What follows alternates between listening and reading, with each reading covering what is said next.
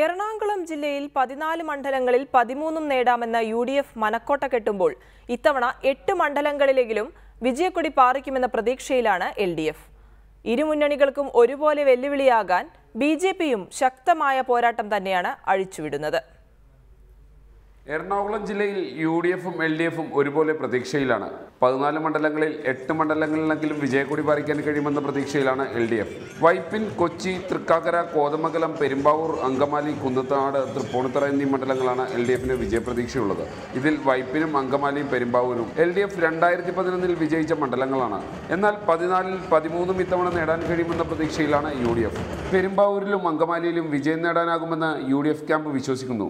പെരുമ്പാവൂരിൽ ജിഷയുടെ അമ്മ L D F സ്ഥാനാർത്ഥി സാജു പോളിനെതിരെ നടത്തിയ പരാമർശം ഇടതുമുന്നണിക്ക് ദോഷം ചെയ്യുമ്പോൾ അങ്കമാലിയിൽ മുൻ എം എൽ എ ജോസ് തെറ്റേലിന്റെ സ്വഭാവ ദൂഷ്യമാണ് ചർച്ചയാവുന്നത്. എന്നാൽ ഇരുമുന്നണിക്കും ഒരുപോലെ വെല്ലുവിളി ഉയർത്താൻ കഴിയുമെന്ന പ്രതീക്ഷയിലാണ് ബി റിപ്പോർട്ടർ കൊച്ചി.